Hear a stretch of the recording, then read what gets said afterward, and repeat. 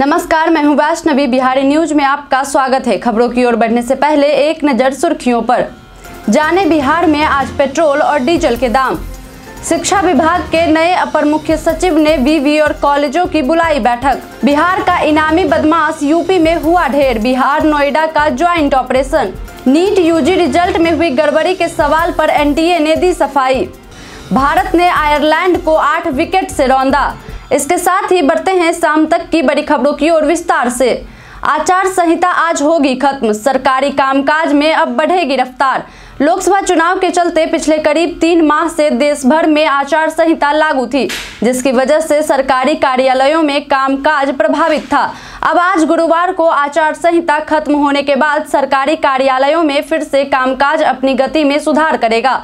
और लंबित कार्य शुरू हो सकेंगे। गौरतलब है कि चुनाव आयोग द्वारा चुनाव की तारीखों की घोषणा के बाद से ही आदर्श आचार संहिता लागू हो गया था।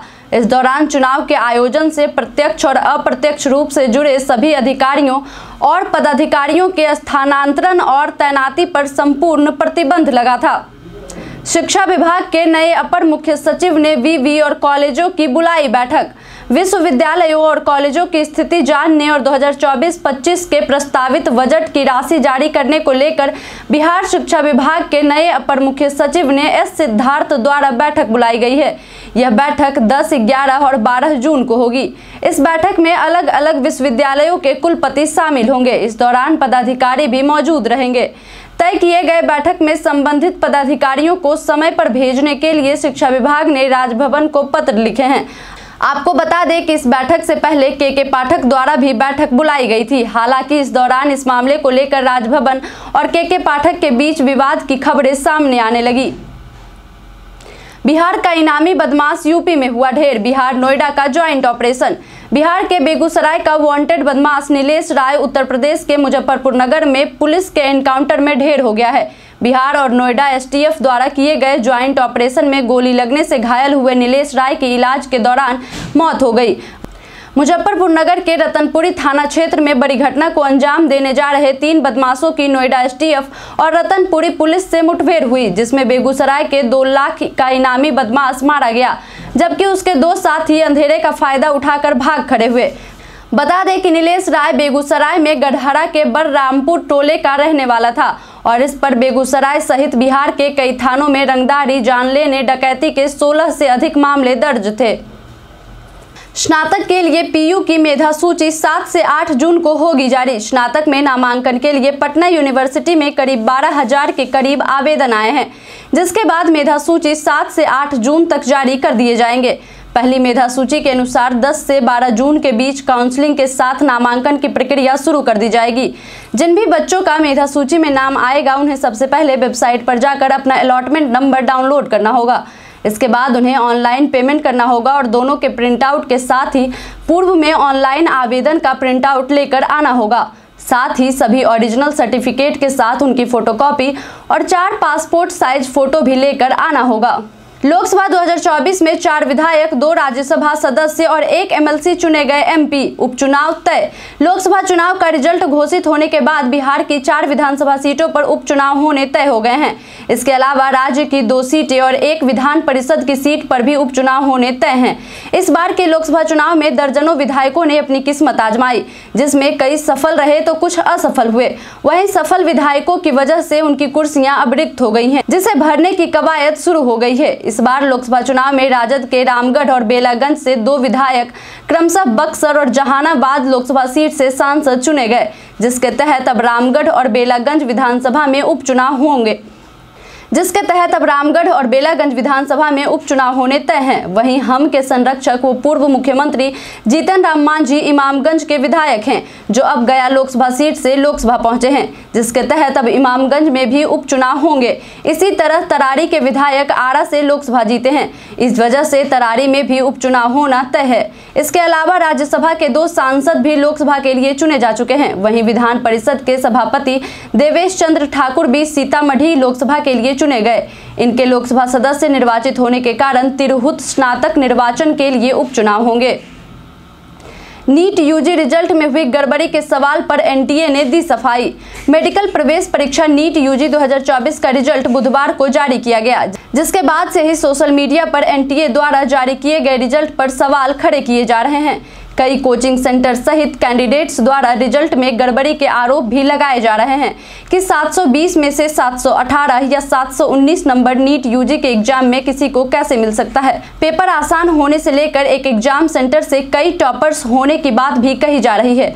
वहीं इन सब सवालों का अब एनटीए ने जवाब दिया है। एनटीए ने कहा है कि कुछ रिप्रेजेंटेशन मिले जिनमें छात्रों ने कोर्ट केस का भी हवाला देते हुए परीक्षा में कम समय मिलने की बात कही।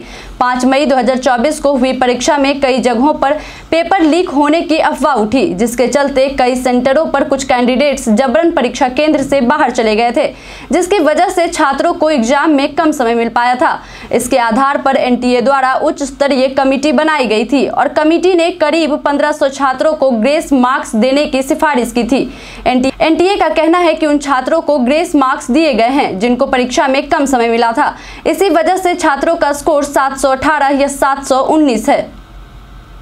हारने के बाद छलका जदयू के पूर्व सांसद का दर्द। बुधवार को बिहार के पूर्णिया से एनडीए गठबंधन के जदयू प्रत्याशी व पूर्व सांसद संतोष कुशवाहा जब संवाददाताओं को संबोधित करने पहुँचे तो उनकी आँखें भराई उन्होंने उन्होंने पप्पू यादव को जीत की बधाई देते हुए कहा कि जनता की नाराज़गी की वजह से वह मात्र लगभग तेईस हज़ार वोट से हारे हैं। कहीं ना कहीं उनसे गलती हुई है। उन्होंने आगे कहा कि हार के बाद भी वे जनता के साथ हैं और हमेशा रहेंगे। संतोष कुशवाहा ने पप्पू यादव से अनुरोध किया कि जिस प्रकार पिछले दस सालों से पूर्णिया में शांति बनी हुई है, उसी प्रकार आगे भी अमन चैन कायम रहे। बिहार के कई जिलों में मौसम ने ली अचानक करवट मौसम विभाग ने जारी की अलर्ट। गुरुवार को बिहार के 12 से अधिक जिलों में मौसम ने अचानक करवट ले ली है। नालंदा, बाढ़, गोपालगंज, मोतिहारी, आरा, शेखपुरा और बेतिया में सुबह सुबह बारिश देखने को मिली। तो साथ ही शेखपुरा, पटना, अरवल और सीवान में सुबह में बादल छाए रहे और तेज आंधी भी चली। मौसम विभाग द्वारा बिहार के नौ जिलों में आंधी, बारिश और आकाशीय बिजली का अलर्ट जारी किया गया है। पूर्वी चंपारण, सारण, सीतामढ़ी, शिवहर, मुजफ्फरपुर, वैशाली, पटना, भोजपुर, बक्सर ज़िले के कुछ भागों में बारिश होने की संभावना जताई गई है। इस दौरान 30 से 40 किलोमीटर प्रति घंटे की रफ्तार से हवा चलने की भी संभावना है। केंद्र सरकार में बिहार के हिस्से मिल सकती है कई बड़ी जिम्मेवारी। लोकसभा चुनाव 2024 का जनादेश अरसे बाद बिहार के लिए शुभ संकेत लेकर आया है। केंद्र में बनने वाली नई सरकार में बिहार के हिस्से में कई बड़ी ज़िम्मेदारी मिलने की आसार नज़र आ रहे हैं। बुधवार को एनडीए गठबंधन की बैठक में शामिल होने के बाद सीएम नीतीश ने कहा कि हम एनडीए के साथ हैं और नई सरकार के बनने में देर नहीं होनी चाहिए। वहीं केंद्र की सरकार में जदयू के शामिल होने से बिहार की झोली में कई नए प्रोजेक्ट आने की संभावना जताई जा रही है। मसलन बिहार को विशेष राज्य का दर्जा हो या विशेष पैकेज की बात।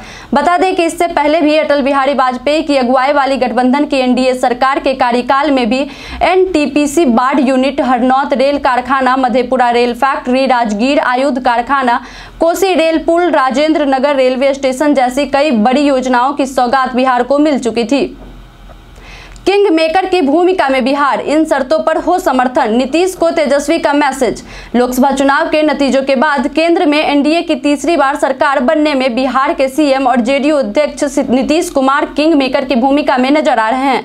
अब जिसे लेकर तेजस्वी यादव ने भी सीएम नीतीश को डायरेक्ट मैसेज देने की कोशिश की है। तेजस्वी यादव ने सोशल मीडिया प्लेटफॉर्म एक्स पर एक पोस्ट करते हुए कहा है कि बिहार किंग मेकर बना हुआ है। इसलिए बिहार में बेरोजगारी हटाने, पलायन रोकने एवं उद्योग धंधे लगाने के लिए निम्न शर्तों पर समर्थन होना चाहिए। पहली शर्त बिहार को विशेष राज्य का दर्जा दूसरी देश भर में जातिगत जनगणना कराना और, और तीसरी शर्त महागठबंधन सरकार द्वारा बाध्य किए गए 75 परसेंट आरक्षण को संविधान की नौवीं अनुसूची में डालना। राज्य के सत्तासी प्रतिशत से अधिक सांसद करोड़पति। 2024 के लोकसभा चुनाव में बिहार से चुने गए सांसदों में सत्तासी परसेंट से अधिक करोड़पति हैं। पटना साहिब से एक बार फिर से सांसद निर्वाचित हुए रविशंकर प्रसाद सबसे धनी सांसद हैं। उनके पास 40 करोड़ की संपत्ति है, जबकि सबसे कम संपत्ति गया से सांसद निर्वाचित हुए। हम के संयोजक और बिहार के पूर्व मुख्यमंत्री जीतन राम मांझी के पास है। जीतन राम मांझी के पास सिर्फ़ तीस लाख रुपए हैं। वही राज्य के चालीस सांसदों में बावन प्रतिशत के खिलाफ आपराधिक मामले दर्ज हैं। पूर्णिया से निर्वाचित हुए पप्पू यादव पर सबसे अधिक इकतालीस केस दर्ज हैं। हार के बाद नेहा शर्मा ने पिता के लिए शेयर किया message. Bollywood actress Neha Sharma के पिता और कांग्रेस उम्मीदवार अजीत शर्मा बिहार के भागलपुर से चुनाव हार चुके हैं।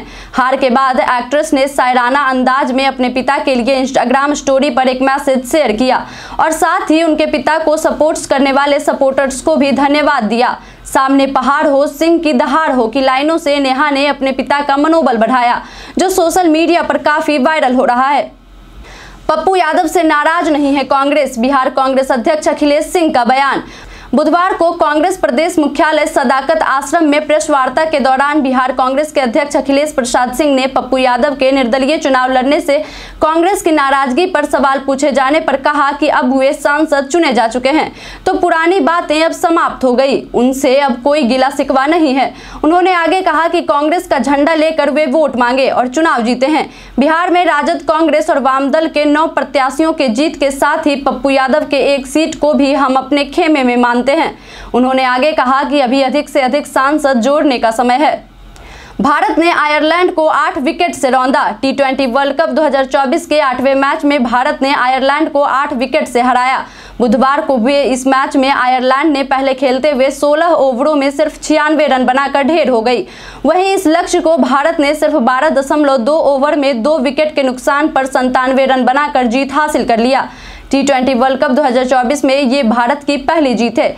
इस मैच में भारत के लिए खेलते हुए रोहित शर्मा ने सैंतीस गेंदों में चार चौके और तीन छक्कों के साथ बावन रनों की पारी खेली। उनके अलावा ऋषभ पंत ने भी 36 रनों की पारी खेल नाबाद रहे। उनके अलावा कोहली एक और सूर्य कुमार यादव ने दो रन बनाए। जाने बिहार में आज पेट्रोल और डीजल के दाम। बिहार में आज 6 जून, यानी गुरुवार को पेट्रोल और डीजल के दाम जारी कर दिए गए हैं। बिहार में आज पेट्रोल के दाम में इक्यावन पैसे और डीजल के रेट में 48 पैसे की कमी आई है।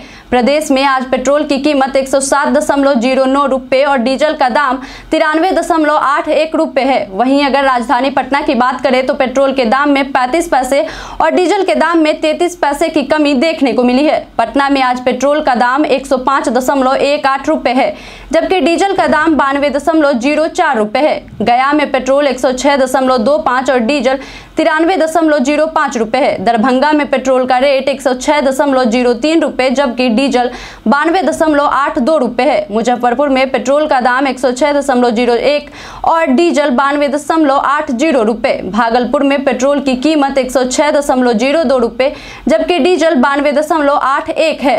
बीते दिन हमारे द्वारा पूछे गए सवाल का आप लोगों में से बहुत से लोगों ने अपना जवाब हमें हमारे कमेंट सेक्शन बॉक्स में लिख कर दिया है। जिन्होंने हमारे द्वारा पूछे गए सवाल का जवाब दिया है, उनके नाम है राजकिशोर महतो, रवि कुमार राम, बिट्टू कुमार, रंजीत मिश्रा, राकेश मिश्रा, उमेश श्री सिद्धेव, मोहम्मद साकिर हुसैन, गोन गोनर शर्मा, जितेंद्र ठाकुर, विद्यानंद कुमार। इसके साथ ही बढ़ते हैं आज के सवाल की ओर। आज का सवाल है, बुधवार को हुए आयरलैंड और भारत के टी वर्ल्ड कप के मुकाबले में रोहित शर्मा का प्रदर्शन आपको कैसा लगा? आप अपना जवाब हमें हमारे कमेंट सेक्शन बॉक्स में लिखकर ज़रूर बताएँ।